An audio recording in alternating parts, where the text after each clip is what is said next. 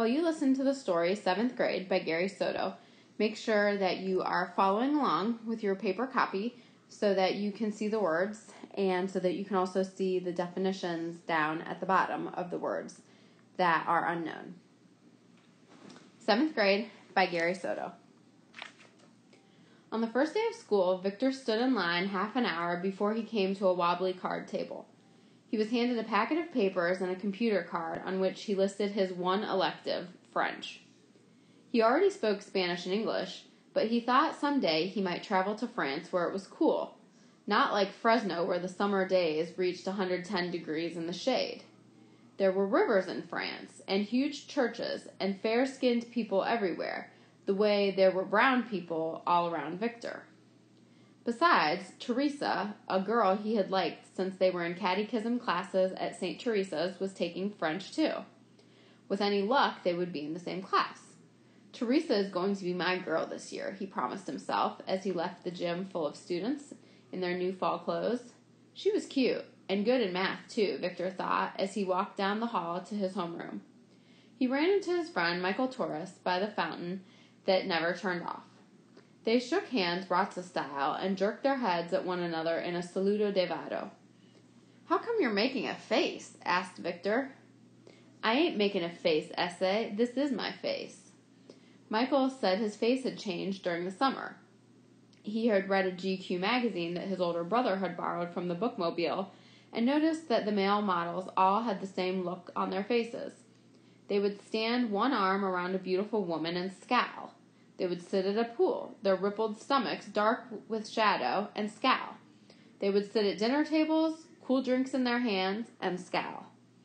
I think it works, Michael said. He scowled and let his upper lip quiver.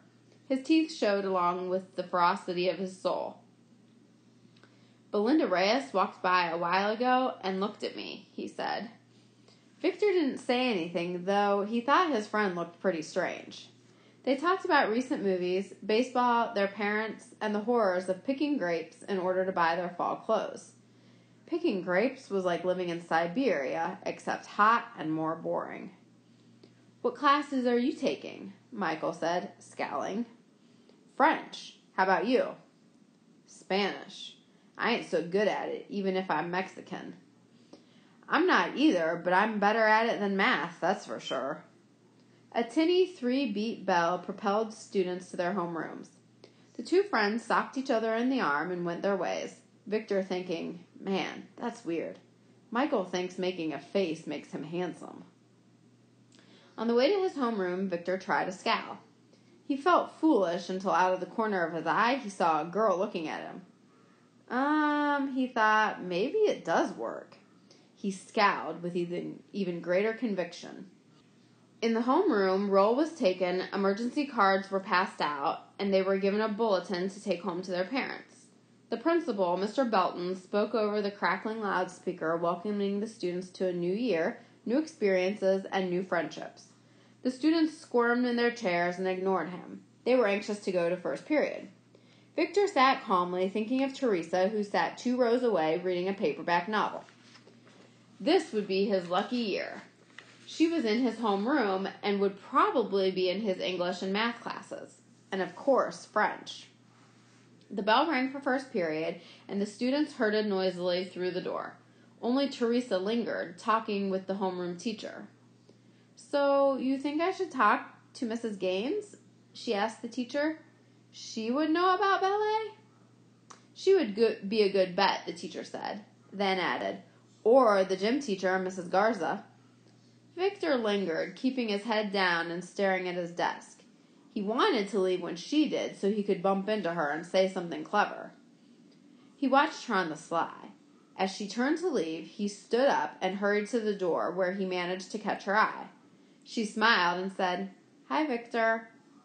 He smiled back and said, Yeah, that's me. His brown face blushed. Why hadn't he said, Hi, Teresa, or How was your summer, or something nice? As Teresa walked down the hall, Victor walked the other way, looking back, admiring how gracefully she walked, one foot in front of the other. So much for being in the same class, he thought. As he trudged to English, he practiced his scowling. In English, they reviewed the parts of speech. Mr. Lucas, a portly man, waddled down the aisle asking, What is a noun? A person, place, or thing, the class said in unison. Yes, now somebody give me an example of a person. You, Victor Rodriguez. Teresa, Victor said automatically. Some of the girls giggled. They knew he had a crush on Teresa. He felt himself blushing again. Correct, Mr. Lucas said. Now, provide me with a place. Mr. Lewis called on a freckled kid who answered, Teresa's house with a kitchen full of big brothers. After English, Victor had math, his weakest subject. He sat in the back by the window, hoping that he would not be called on. Victor understood most of the problems, but some of the stuff looked like the teacher made it up as she went along. It was confusing, like the inside of a watch. After math, he had a 15 minute break, then social studies, and finally lunch. He bought a tuna casserole with buttered rolls, some fruit cocktail, and milk. He sat with Michael, who practiced scowling between bites. Girls walked by and looked at him. See what I mean, Vic? Michael scowled. They love it. Yeah, I guess so. They ate slowly, Victor scanning the horizon for a glimpse of Teresa. He didn't see her. She must have brought lunch, he thought, and is eating outside. Victor scraped his plate and left Michael, who was busy scowling at a girl two tables away. The small triangle shaped campus bustled with students talking about their new classes. Everyone was in a sunny mood. Victor hurried to the bag lunch area, where he sat down and opened his math book. He moved his lips as if he were reading, but his mind was somewhere else. He raised his eyes slowly and looked around. No Teresa. He lowered his eyes, pretending to study, then looked slowly to the left. No Teresa. He turned a page in the book and stared at some math problems that scared him because he knew he would have to do them eventually. He looked at the right. Still no sign of her. He stretched out lazily in an attempt to disguise his snooping. Then he saw her. She was sitting with a girlfriend under a plum tree. Victor moved to a table near her and daydreamed about taking her to a movie. When the bell sounded, Teresa looked up and their eyes met. She smiled sweetly and gathered her books. Her next class was French, same as Victor's. They were among the last students to arrive in class, so all the good desks in the back had already been taken. Victor was forced to sit near the front, a few desks away from Teresa, while Mr. Bueller wrote French words on the blackboard. The bell rang, and Mr. Bueller wiped his hands, turned to the class, and said, Bonjour. Bonjour, braved a few students. Bonjour, whispered Victor. He wondered if Teresa heard him. Mr. Bueller said that if the students studied hard, at the end of the year they could go to France and be understood by the populace. One kid raised his hand and asked, What's populace? The people. The people of France. Mr. Bueller asked if anyone knew French. Victor raised his hand, wanting to impress Teresa. The teacher beamed and said, Très bien. Parlez-vous français? Victor didn't know what to say. The teacher wet his lips and asked something else in French. The room grew silent. Victor felt all eyes staring at him.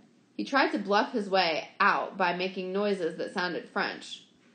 L'ami vive con me la grandma, he said uncertainly. Mr. Bueller, wrinkling his face in curiosity, asked him to speak up. Great rose bushes of red bloomed on Victor's cheeks. A river of nervous sweat ran down his palms. He felt awful. Teresa sat a few desks away, no doubt thinking he was a fool. Without looking at Mr. Bueller, Victor mumbled, Frenchy, oh, oui, oui, gee, in September. Mr. Bueller asked Victor to repeat what he had said. Frenchy, oh, oui, oui, gee, in September, Victor repeated. Mr. Bueller understood that the boy didn't know French and turned away. He walked to the blackboard and pointed to the words on the board with a steel edged ruler. Les bateaux, he sang. Les bateaux, the students repeated. Les bateaux est sur l'eau he sang. Le bateau est sur l'eau. Victor was too weak from failure to join the class. He stared at the board and wished he had taken Spanish, not French. Better yet, he wished he could start his life over. He had never been so embarrassed. He bit his thumb until he tore off a sliver of skin. The bell sounded for fifth period, and Victor shot out of the room, avoiding the stares of the other kids, but had to return for his math book. He looked sheepishly at the teacher, who was erasing the board, then widened his eyes in terror at Teresa, who stood in front of him. I didn't know you knew French, she said. That was good. Mr. Bueller looked at Victor, and Victor looked back. Oh, please don't say anything, Victor pleaded with his eyes. I'll wash your car, mow your lawn, walk your dog, anything. I'll be your best student, and I'll clean your erasers after school. Mr. Bueller shuffled through the papers on his desk. He smiled and hummed as he sat down to work. He remembered his college years when he dated a girlfriend and borrowed cars. She thought he was rich because each time he picked her up, he had a different car. It was fun until he had spent all his money on her and had to write home and tell his parents he was broke.